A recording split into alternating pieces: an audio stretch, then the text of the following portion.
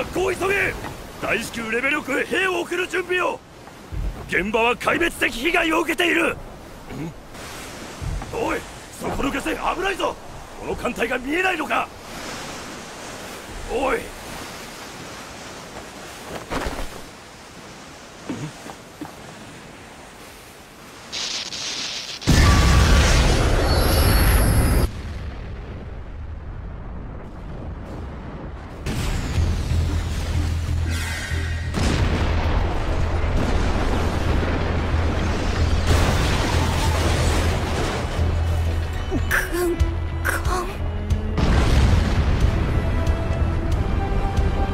おさっとするな。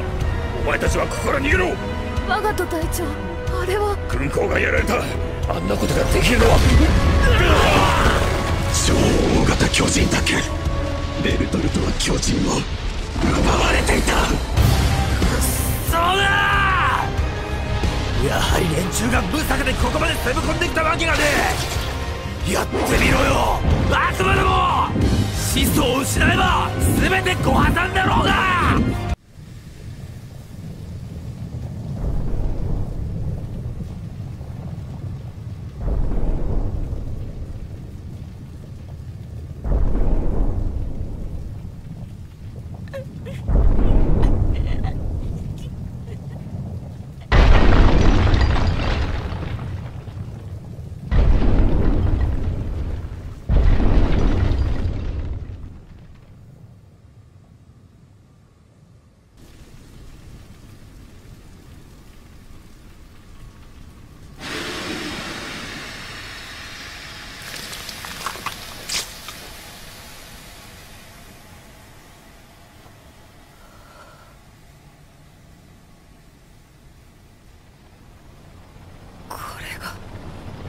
君の見た景色なんて